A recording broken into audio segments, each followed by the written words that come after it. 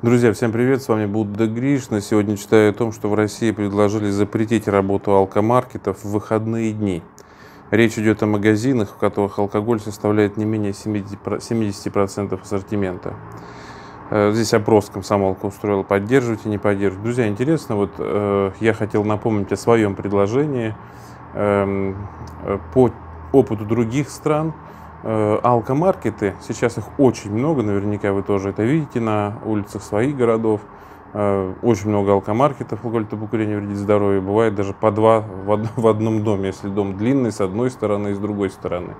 И, как правило, именно около этих алкомаркетов собираются люди, распивают. Э, под, значит, с другой стороны, где подъезды, например, или с этой же стороны подъезда могут быть, стоят бутылки у близлежащих подъездов. Э, бывает молодежь, э, затариваясь, э, ну как молодежь, относительно молодежь, там могут даже в подъезд заходить какой-то там, если мне где-то делать в холодное время, и устраивать там тоже, так сказать, какие-то постоялки, не посиделки, а постоялки стоят, общаются, то есть это, естественно, не нравится жильцам. То есть это, сам этот алкомаркет, он притягивает, соответственно, людей определенного плана. Не всех, естественно, но тем не менее. И по опыту других стран я предлагал, вы знаете что, вынести алкомаркеты из городов. То есть вот сделали, помните, когда были игровые вот эти автоматы, э, игровые зоны. Какие-то где-то они находятся, по-моему, никто, никто не знает особо, где они находятся, вот, но тем не менее. Просто убрали все это из городов. Вот мне кажется, с алкомаркетами стоит поступить так же.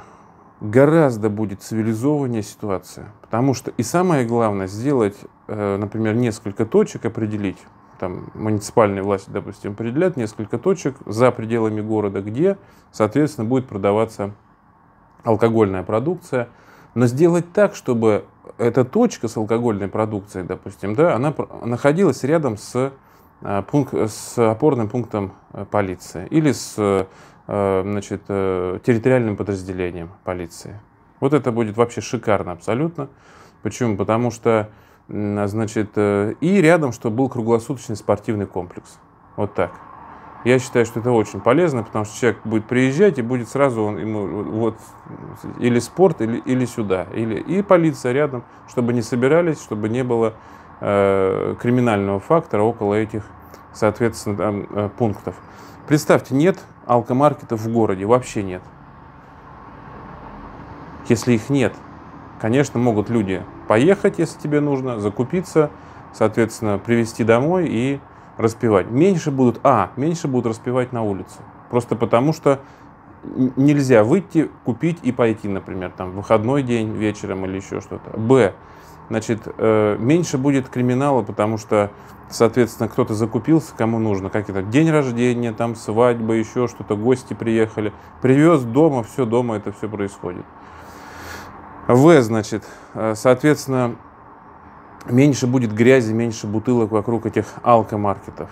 Да меньше Г, вы знаете, меньше будет, в принципе, соблазна. Человек не всегда захочет ехать. А, тут, э, ладно, вот здесь по пять штук в каждом доме вышел, купил там. Э, а так сидишь дома, или человек сидит дома, ему захотелось там что-то, не спортом заняться, а куда-то поехать там. Я имею в виду там выпить, например. Неохота ехать ладно, не поеду там, вон есть, э, не знаю, там какие-то тренажеры в парке, пойду позанимаюсь лучше. Допустим, ну, это, конечно, я идеализирую, кому надо, тот доедет, но тем не менее. Плюс еще один фактор. Бывает, сходили и вроде как посидели цивилизованно, но надо еще. А там уже и начинается криминал, потому что уже себя не контролируют.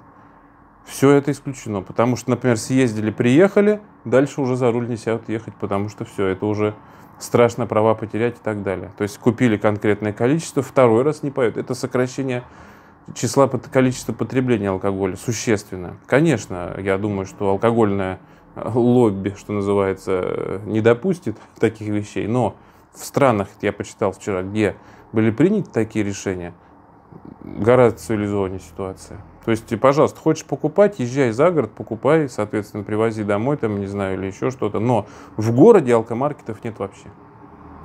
Друзья, что вы думаете на сей счет? Пишите в комментариях, мне интересно ваше мнение. С вами был Будда Гришна, подписывайтесь на канал, кому интересно. Если вам нравится то, что я делаю, можете поддержать канал Будда Гришна, ссылочку в закрепленном комментарии в описании к видео. Друзья, приглашаю вас на свой основной канал Будда Гришин Новости в Телеграм.